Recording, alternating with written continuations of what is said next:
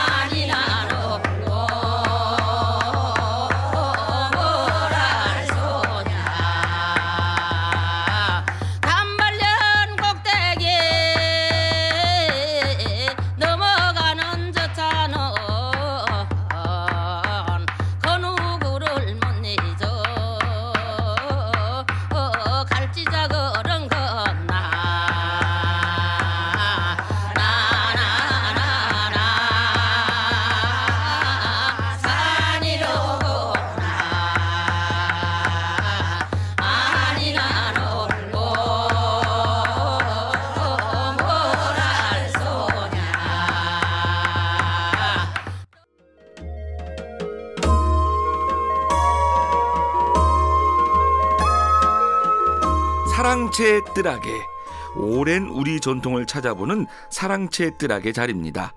자, 오늘 같은 날 한 해를 보내는 감회가 새록새록 샘솟는 때이기도 합니다. 그래서 옛 선인들은 한 해를 보내는 송년 노래를 지어 부르기도 했는데요. 조선 영조 때와 정조 때 중국 사정에 밝아서 사신으로 나가기도 했던 이용휴가 남긴 송년 노래 몇 구절 보겠습니다.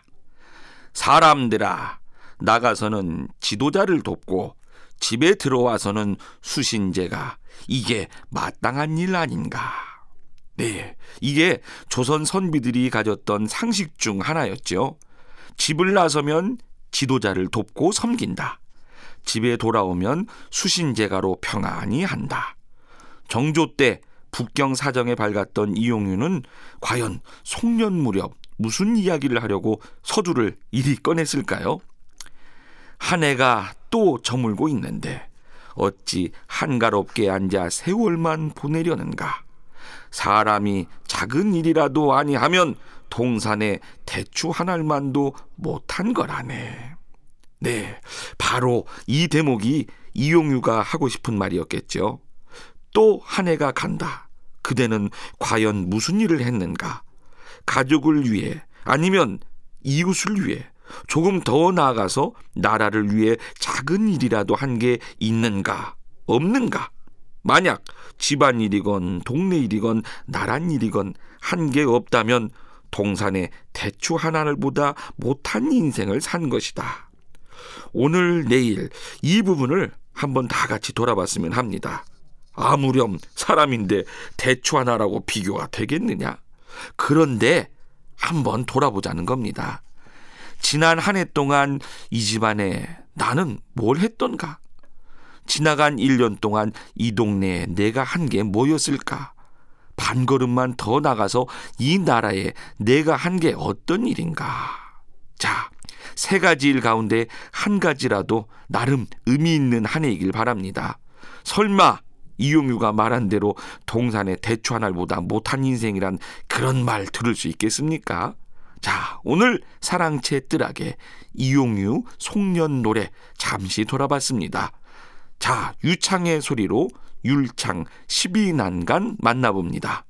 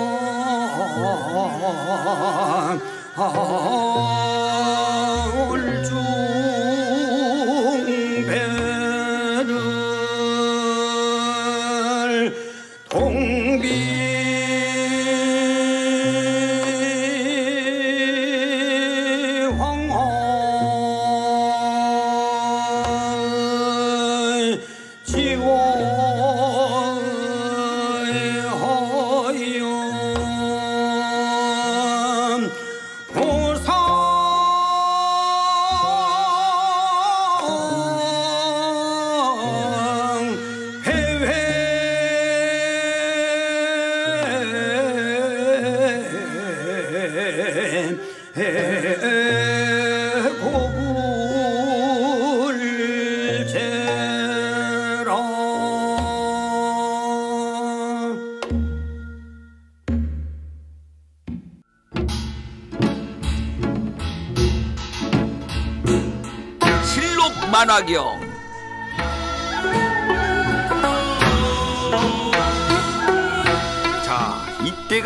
세종 18년 12월 압록강 두만강 건너 북변 국경을 지키고 있던 제찰사 김종서 장군은 두만강 넘어 여진족 침략을 막으며 여러 부족 가운데 여진족 범찰을 만난 후 세종에게 급보를 올렸으니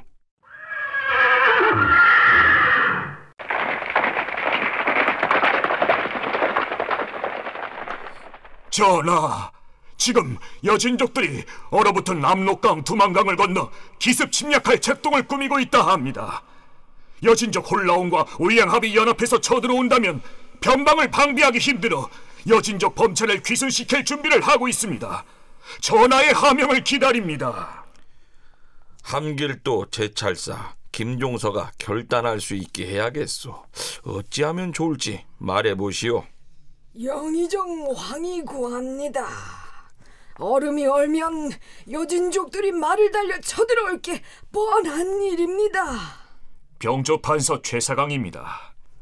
만약 여진족들이 종성을 치면서 동시에 강계를 치고 든다면 전설이 두 개로 나눠져 대응하기 어려운 일이 생길 것입니다. 얼음이 얼면 말을 탄 여진족들이 언제 어디서 쳐들어올지 모르는 일이라 걱정이요. 이래서 김종서 장군이 범찰을 끌어들이겠다는 소린게요?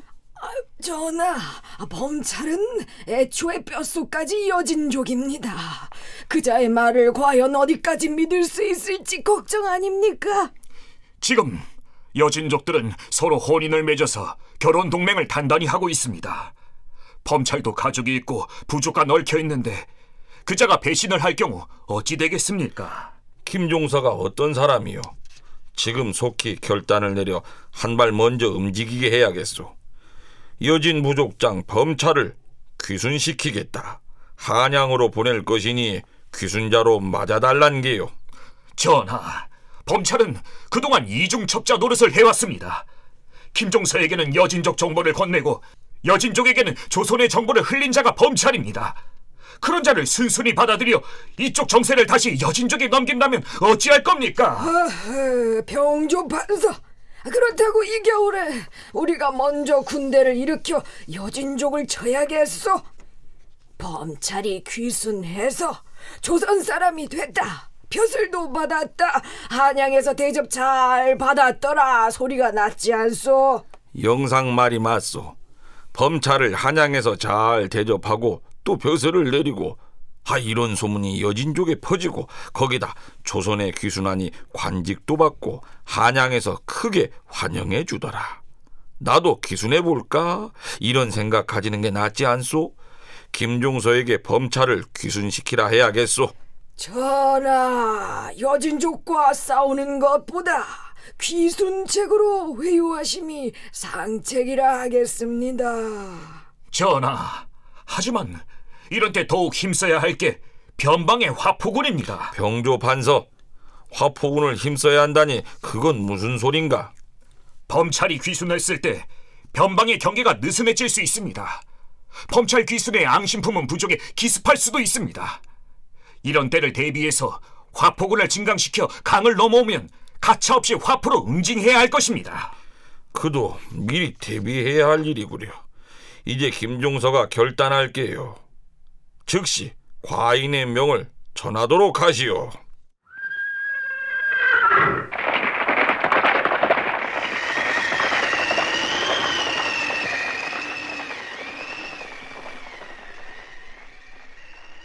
범찰, 이제 들어와야겠소. 가족들 데리고 건너오시오. 한양에서 어명이 내렸소. 하오셰 한양 어명이가 정말이가 해 범찰 이제 조선 사람 되는 거이가 하셰셰 우리 주상께서 벼슬도 내릴 것이오. 벼슬까지 범찰이 벼슬까지 참말이라 해? 에? 가족들이랑 지낼 집도 내릴 것이오. 범찰, 각오는 됐는가? 각오라면 하오셰 조선 사람 범찰 각오됐다 해 우리 사람 주상 전하께 지도를 바쳐야지. 압록강 건너 여진족 지도 말이오.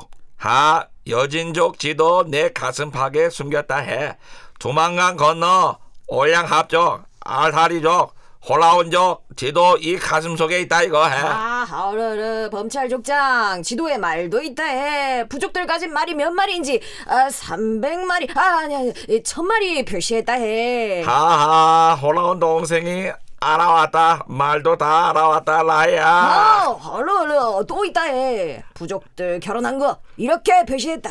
알탈이랑 이만주랑 사돈 맺은 거 여기 다 있다. 봐, 봐, 봐, 봐, 라라라. 아 봐라 해 결혼 동맹 맺은 것도 여기 다 표시해 왔다 이거 봐라 해 이만하면 한양 가서 큰 벼슬 받고도 남겠수다. 자 그럼 한양길 서둘러 가시오. 우리는 여기서 처리할 일이 있어. 김종서 대장군 올해 사람 먼저 한양 간다 이거 신난다 해 라라야 샤샤.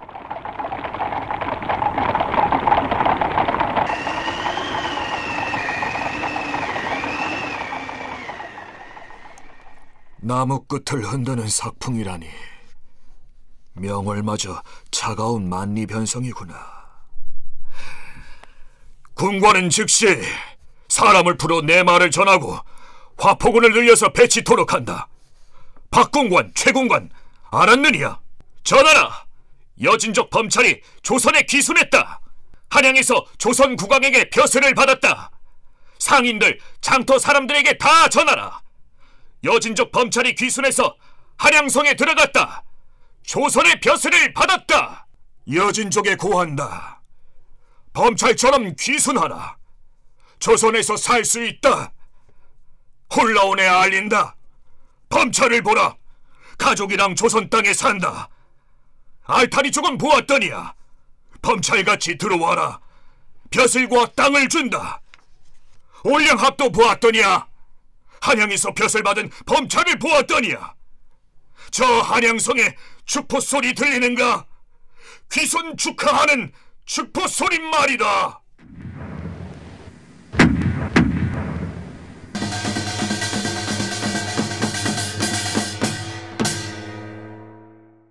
네, 이게 조선 세종 18년 12월에 있었던 여진족 부족 범찰 귀순 사건이거든요.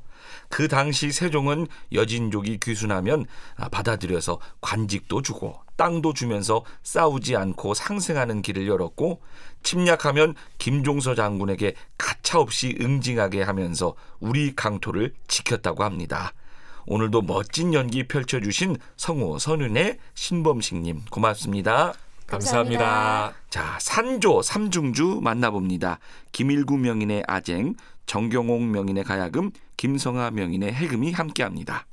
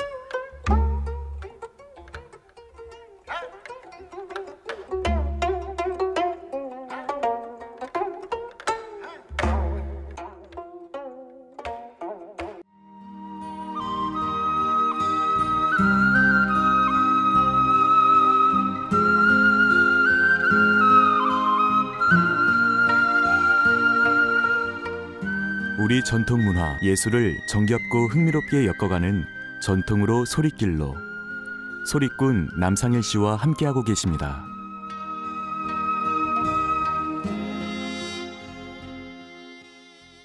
네. 우리가 사랑하는 마음을 담아 전해주는 문화예술인 한마디. 김희아 리포터가 오늘은 또 어떤 분 만나고 오셨는지 볼까요? 자, 여러분 좋아하시죠? 만화가이면서 한국예술종합학교 교수인 박재동 화백님을 만나고 오셨네요. 박재동 화백의 우리가 사랑하는 말씀 한번 들어볼까요?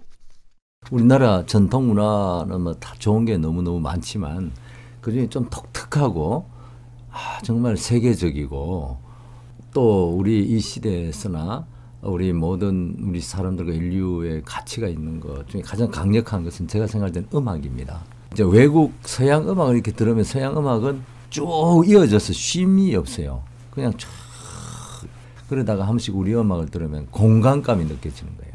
특히 그 가곡 같은 거 이런 걸 들으면은 그 앞에 마당과 뒤에 담과 산과 달 이런 공간이 느껴지고 또 우리 음악은 독특한 것이 따당 땅 따당 따당 그 중간에 그 공간 우리 그 그림도 물론 그것이 있는데 그다음에 소리도 어 창도 그냥 뱃속에서부터 쫙 내지르는 거 이런 거 하며 그 파워가 또 엄청나요. 우리 음악은 세계에서 내가 볼 때 가장 독특한 음악이고 다른 어느 나라에서도 그 맛볼 수 없는 정말 독특한 음악이에요.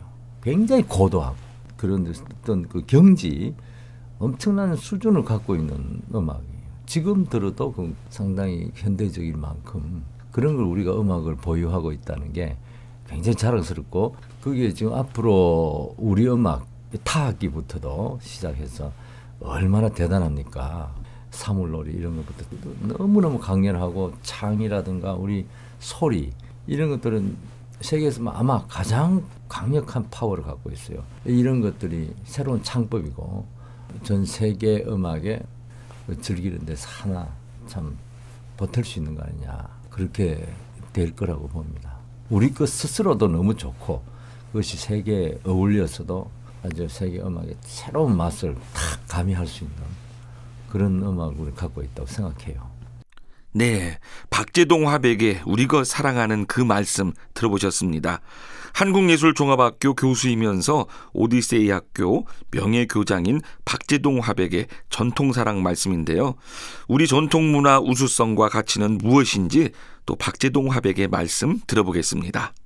우리 것은 아, 뭐라 할까 알기 쉽게 비유를 해보면 우리 일단 정말 삼국을 이렇게 띄어놓고 보면 중국이 있잖아요. 중국 굉장히 화려하고 그냥 크고 음, 다양하고 또 일본도 아주 정교하고 예리한 그런 그런 문화를 갖고 있어요. 아주 이쁘고 우리는 그 사이에 중국 쪽으로 막 너무 장쾌하게 가지도 않고 일본처럼 너무 하고 예리하게 가지 않고 사이에 참 소담스럽고 소중한 아삭하고 그런 맛을 갖고 있어요.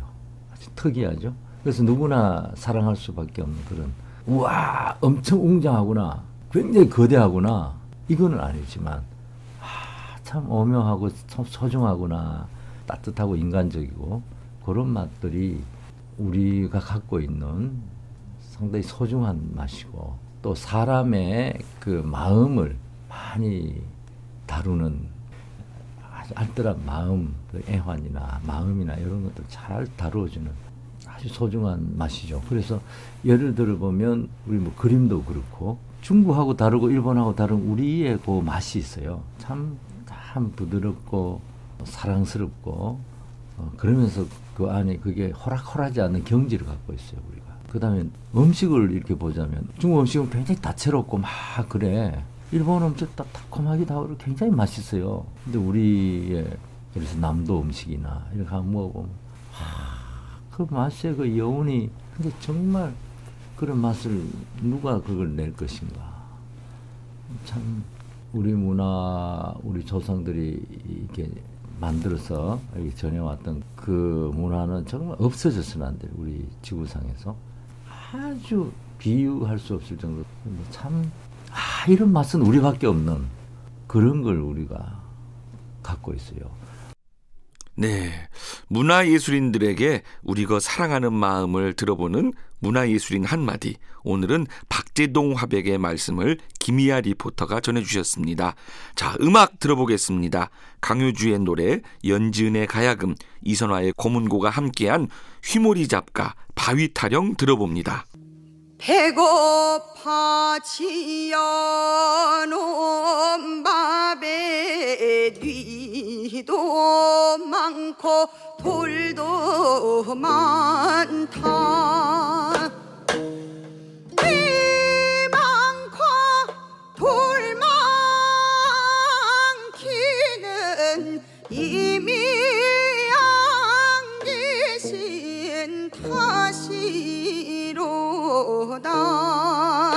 그 밥에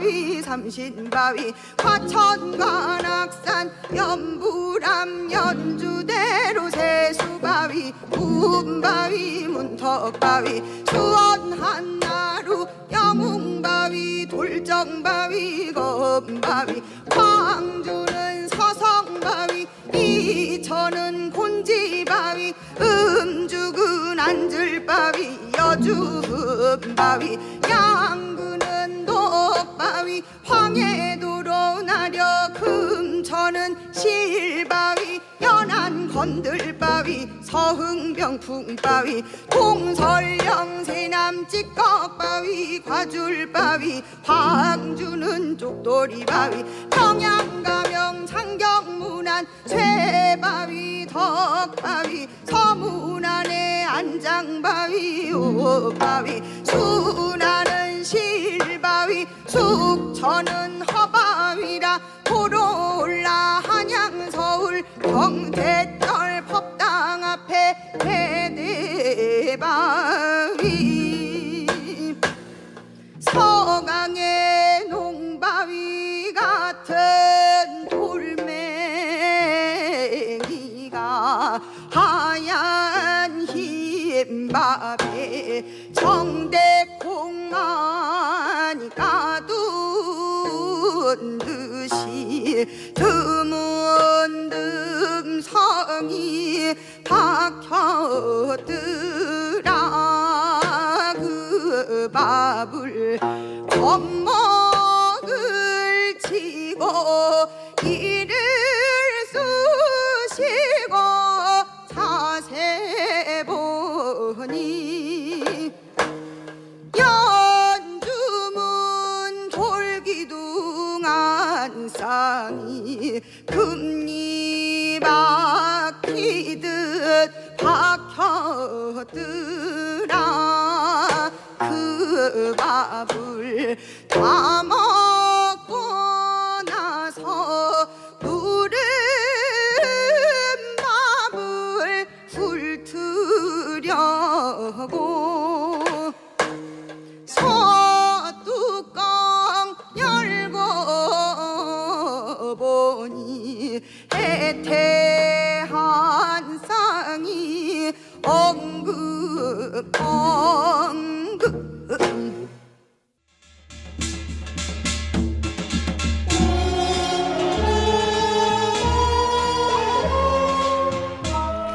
고향 나루터.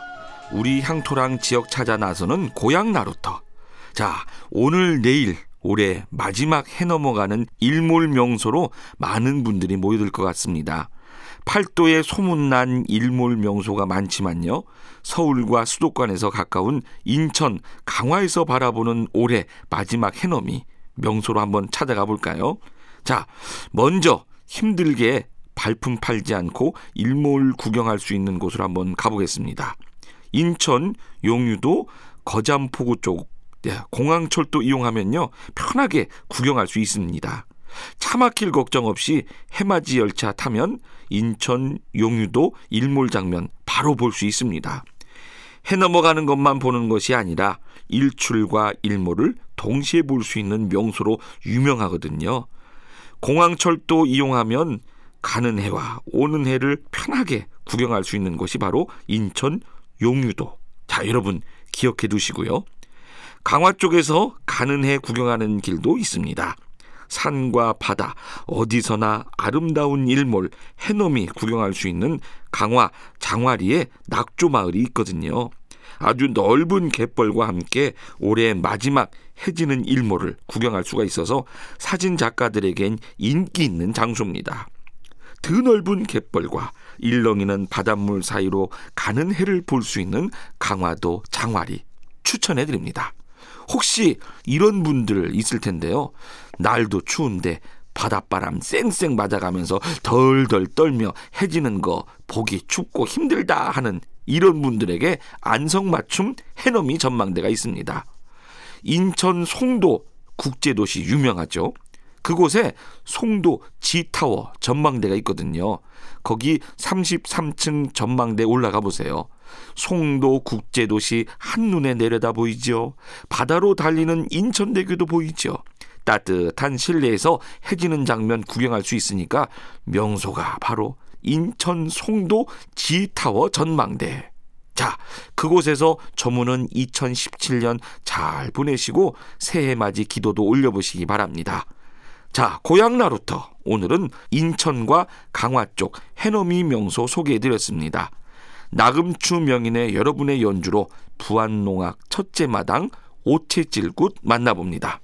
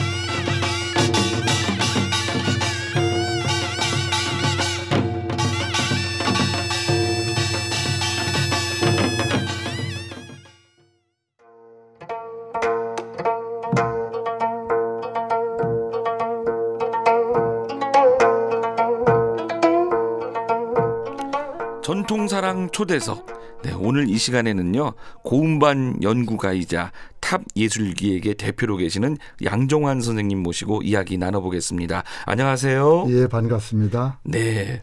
우리 선생님은 지난 시간에 말씀드린 것처럼 잊혀진 우리에게 에, 좀 기억이 잘 되지 않는 옛날 어른들의 귀한 소리를 발굴해내서 많은 분들에게 알리고 또 아주 의미 있는 작업들을 많이 예, 기획해 오시면서 또 음반 제작자로 또 고음반 연구가로 공연 연출가로 또 이렇게 다양한 활동을 펼치고 계시는데요. 아마 2017년 다른 분들에 비해서 감회가 좀 더 새롭지 않을까 마무리하는 이 시점에 그렇게 저는 생각을 하는데 어떠세요? 글쎄요, 음, 뭐 음반 제작하고 어, 이런 것은 뭐 제가 하는 일이니까 그런데 어떻게 그 뭐 연출이라든가 이런 것은 저한테는 분이 넘칩니다. 어, 그런데 이제 옛날 분을 어, 주인공으로 해서 그 무대에 올린다고 하다 보니까 그 옛날 명인 명창의 자료를 찾다 보니까 그분의 주변 얘기라든가 자료를 제가 갖고 있다 보니까 아, 그 자료를 가지고 있는 사람이 거기까지 연출까지 좀 해줬으면 좋겠다 해가지고 억지 춘향으로 했습니다. 아유 겸손의 말씀이시고 우리 선생님께서는 진짜 이 우리 국악 사랑 그리고 우리 전통 문화 사랑이 정말 남다르시잖아요. 우리 선생님의 시각으로 봤을 때 올해 우리 문화예술계 특히 전통 문화예술 쪽의 활동을 을 한번 되짚어서 한 말씀 해주시면 좋을 것 같은데요. 네, 그 보통 이제 불경기다 그러면은 가장 먼저 아마 크게 그, 그 타격을 입는 것이 문화예술계 쪽이라고 그렇죠. 보통 얘기를 하거든요. 그렇게 보면은 뭐 국악계도 그렇게 크게 다르지는 않을, 않다라는 생각이 듭니다. 네. 그런데 어, 다른 분야에 비해서는 그래도 꾸준히 음. 어, 공연 활동이 이루어지고 또 음반의 출반이라든가 이런 부분도 양은 좀 줄었지만 그러나 네. 꾸준히 해오고 있어서 저는 뭐 2017년 그래도 저는 희망이 있었다 이렇게 생각이 됩니다. 네. 사실 어느 분야든 이 경제적인 이런 네. 상황과 그냥 같이 가잖아요. 네, 그 특히나 이런 이 전통 예술 같은 경우는 특히나 좀 네. 대중 예술에 비해서 더 아마 이 타격 아닌 타격도 있을 텐데 그래도 현장에서 보면 꾸준히 열심히 활동들을 하고 있다라는 걸 저도 느꼈거든요. 네, 아마. 이 많은 분들이 우리 전통 문화 사랑하는 그런 마음이 정말 아, 각별해서 또 그러지 않나 하는 생각도 해보게 됩니다. 지난 한 해 2017년 한 해 동안 음반이나 또 출판물 이 분야에서는 또 어땠을까요? 네, 제가 뭐 고음반을 연구하고 음반 관련 쪽도 하니까 아, 음반 출판으로 본다면 작년 이제 지금 어, 이 12월 어, 오늘 현재까지의 네. 그 보니까 우리 그 고음반 연구의 정창관 선생님이 이제 네. CD를 이렇게 좀 정리를 하세요. 네. 그래서 그걸 제가 떠들어 보니까 음, 지금까지 87 타이틀이 오. 올해 나왔습니다. 네. 그러니까 거의 아, 90개 정도가 되는 거죠. 네. 예, 90개 정도가 되다 보니까 아, 일주일에 두 장 정도, 두 음. 타이틀 정도는 나오지 않았느나 생각이 어. 돼요. 그래서 저는 음, 옛날 같은 경우는 뭐120 타이틀 정도 안팎에서 음. 나왔었는데 양은 좀 줄었지만 그런데 다른 거에 비해서는 그래도 어, 뭐 그만하면은 네. 되지 않았나 이런 생각이 들고 그다음에 출판 쪽에서도 꾸준히 그래도 나오고 있습니다. 그런데 네. 역시 양은 줄었다는 것이 공통적인 의견입니다. 네. 사실 이 대중 예술, 대중 음악에 비하면 정말 열악하잖아요. 사실. 그렇죠. 네. 예, 그렇지만 그래도 꾸준히 이렇게 활동을 하고 또 음반과 출판물들이 이렇게 나왔다는 걸 보면 정말 그래도 우리 전통 예술이 의미가 있구나 하는 생각을 해보게 되네요. 맞습니다. 그런데 이제 그 87개, 그 90개를 이제 구체적으로 조금 나눠 보니까 네. 거기에서 어, 뭐 판소리에 관련된 우리 남상일 선생님의 네. 판소리 쪽은 한 석 장 정도 나왔어요. 올해. 아유. 예, 그리고 정악 쪽이 한 10개 정도. 네. 민요 쪽이 한 또 한 열 타이틀 정도. 그리고는 이제 창작 국악 네. 예, 그쪽이 대부분인데 거기서 이제 창작 기타 이렇게 한 것은 좀 모호한 거예요. 크로스 어. 오버 쪽인데 이것을 창작 음악으로 다 전, 전적으로 볼 수도 그렇죠. 이것이 그렇다고 해서 전통 음악도 거기다 좀 가미된 것 같기도 아주 모호한 어. 말하자면 조금 심한 표현하면 국적이 좀 불분명하다. 어, 뭐 이렇게 네. 얘기하시는 분들도 계시더라고요. 그러나 저는 그런 음반조차도 어떻든 일반인들한테 국악을 알리는 데에는 아주 중요한 매개체 역할을 하지 않나 그런 생각에서 어 뭐 저는 희망을 가지고 있습니다. 네. 어쨌든 이 대중들의 음악적 선호도가 또 그쪽으로 좀 쏠리지 않나 예, 하는 수도 있습니다. 예, 그런 생각도 들고 음. 또 그만큼 또 뭐 대중들이 이 국악을 좀 친숙하게 들으려고 하는 어, 그런 것이 있을 지 않을까 하는 생각도 드는데. 맞습니다. 어, 이제 음반 어떨 때 보면 이제 제가 만든 음반을 그렇게 찾는 분이 전화를 받으면 한 30분, 1시간 하는 분이 있어요. 어, 대개 보면은 이것이 취미로 그냥 보고 끝나는 것이 아니라 그분이 악기를 배우게 되고 소리를 배워요. 아, 그래서 공연장을 제가 일주일이면 한 많게는 세 번, 네. 두번 이상은 갑니다.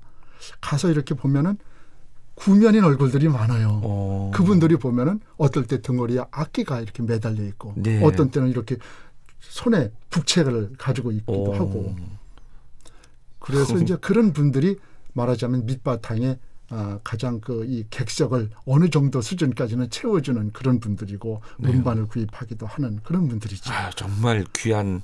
김영창이네요. 아주 귀한 명창, 저 김영창입니다. 네, 네. 자, 이 한편으로 2017년 이제 네. 마무리하는 즈음인데요. 우리 선생님께서 생각하실 때 아, 이런 일들은 좀 아쉬웠다. 어, 뭐 안타까웠다 하는 그런 일들도 좀 있을 것 같은데요. 저는 그래도 뭐저 어, 방금 전에도 말씀드렸지만 희망이 있습니다. 네.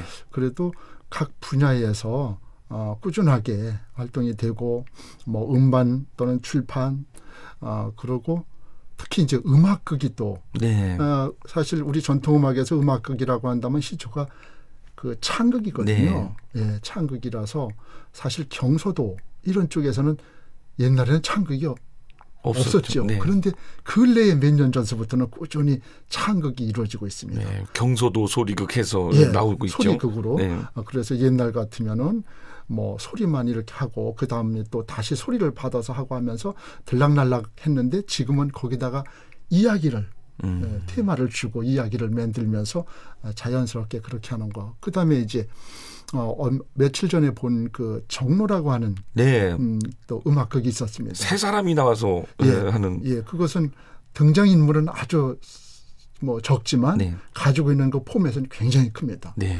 어, 왜냐하면 하나 한쪽의 주인공은 정악계의 최고의 명인 김계선 명인을 네. 다루고 있고 또 하나는 민속 기악의 네. 산조의 그 시조라고 하는 박종기 명인을 다루고 있는 거거든요. 네. 이두 분의 그 얽힌 그것을 음악극으로 표현한 거 이것은 정말 저는 아주 대단하다 이렇게 생각을 합니다. 그래서 네. 아마 올해도 저는 어, 희망적인 걸 갖고 있고 내년도 역시 희망을 가지고 있습니다. 네.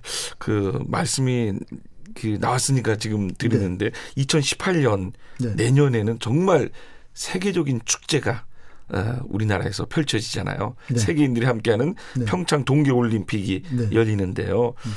아마 이때 우리 전통 문화, 우리 특히 우리 국악을 알릴 수 있는 절호의 기회가 아닌가 하는 생각도 들고요. 네. 그런데 또 그간의 이런 음악회나 이 분위기 조성을 위한 이런 축제들을 보면 참 거진 다 아이돌 그룹들이 나와서 그냥 공연을 펼치고 있어서 네. 저 개인적으로는 아 저런데 우리 국악이 들어가면 안 되나? 국악을 좀 넣어서 한데 어우러질 수 있게 하면 통합의 의미도 있고 참 좋을 텐데 하는 그런 아쉬움도 있었거든요. 아, 지금 아주 중요한 말씀을 하셨어요. 네. 어, 우리가 국악기의 태평소라는 악기를 네. 세상에 널리 알린 분은 나는 서태지라고 봅니다. 그렇죠. 서태지의 그 하여가에 네. 아, 태평소 소리가 나왔지 않습니까? 네. 이 가요를 좋아하는 분들이 쭉 듣다 보니까 아, 이상한 악기 소리가 나오는 네. 그러니까 그게 귀에 홀린 거죠. 네. 저 악기가 뭐냐?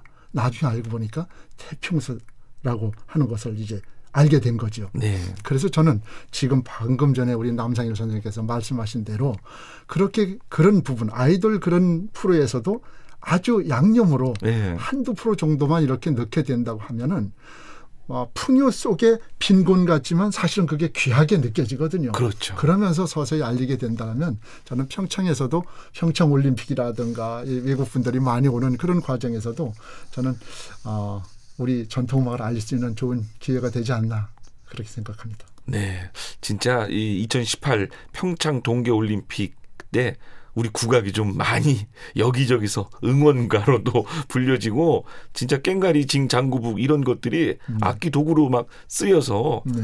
세계인들이 어 저거 무슨 악기지 하면서 관심을 가져줄 수 있는 네. 그런 이 올림픽이 됐으면 문화 올림픽이 됐으면 하는 그런 개인적인 바람도 가져봅니다. 동감입니다. 네. 자, 2018년 예, 새해가 이제 곧 밝아올 텐데요. 어떤 소망을 갖고 계시는지 궁금합니다. 아, 전, 음, 이제 그 옛날 분들의 그 네. 자료 중에서 혼자 듣기 너무 아깝다. 네.